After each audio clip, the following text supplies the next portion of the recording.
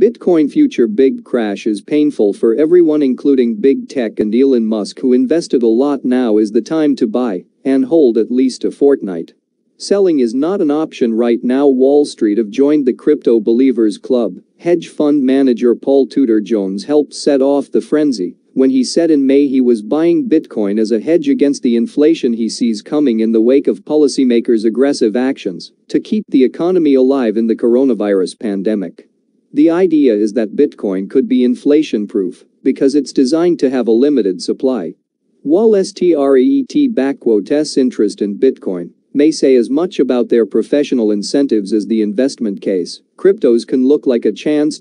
Right now at current levels, there's the least amount of people that we're going to see invested in this, she says. Starting tomorrow there will be more. Starting the next day there will be more. Morgan and Morgan Stanley are eyeing Bitcoin. Here are the big Wall Street names warming to cryptocurrencies. A $150 billion investment arm of Morgan Stanley is weighing up getting involved in Bitcoin, according to a report, as the soaring price of the biggest cryptocurrency garners attention on Wall Street in another example of the rising interest, Morgan co-president Daniel Pinto said on Friday he's sure demand for Bitcoin will pick up to the extent that the Wall Street giant will have to be involved.